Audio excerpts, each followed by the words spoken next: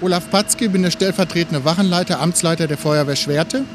Beim Eintreffen der Feuerwehr, wir waren die erste Einheit vor Ort, war die Fensterscheibe der Brandwohnung bereits geborsten und es schlugen meterlange Flammen aus dem Fenster heraus.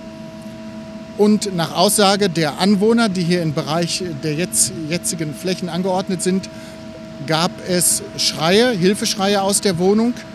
Daraufhin hat die Feuerwehr sofort mit der Menschenrettung mit zwei Trupps unter Atemschutz begonnen. Wir sind über den Treppenraum vorgegangen und haben nach circa 15 Minuten intensiven Suchens in der Brandwohnung auch eine Person leider tot vorgefunden.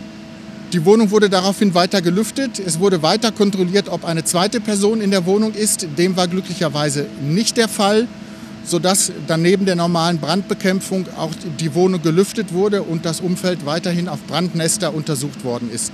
Der Wohn-Schlafbereich und ein Nebenzimmer, zwei weitere Räumlichkeiten wurden weitgehend nicht in Mitleidenschaft gezogen da die Wohnungstüren, Zimmertüren dort geschlossen waren. Die äh, Brandwirkung, die Brandausbreitung in der Wohnung war so intensiv, dass die Scheibe schlagartig geplatzt ist und somit natürlich dann auch die Flammenausbreitung im Freien deutlich sichtbar war.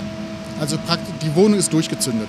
Es ist schon eine Verpuffung, wo sich schlagartig das Feuer entlädt. Man spricht dann auch von einem sogenannten Flash-Over, Feuerüberschlag.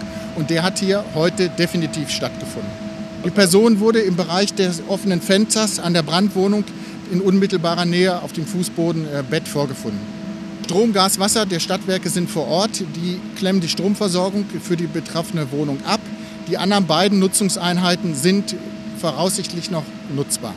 Wir waren am Anfang mit fünf Rettungswagen, zwei Notärzten und einer Hubschrauberbesatzung, auch in Form eines Notarztes vor Ort das ist eine reine Vorsichtsmaßnahme, weil wenn Sie denken, dass die durchschnittliche Belegung einer Wohnung durchaus vier, fünf, sechs Personen sein kann, dann müssen Sie bei einem solchen Brandereignis auch damit rechnen, dass mindestens fünf, sechs oder teilweise sogar mehr Personen von dem Ereignis betroffen sind. Und deswegen ist gerade in der Erstintervention es notwendig, mit hinreichendem Personal im Rettungsdienst vor Ort zu sein.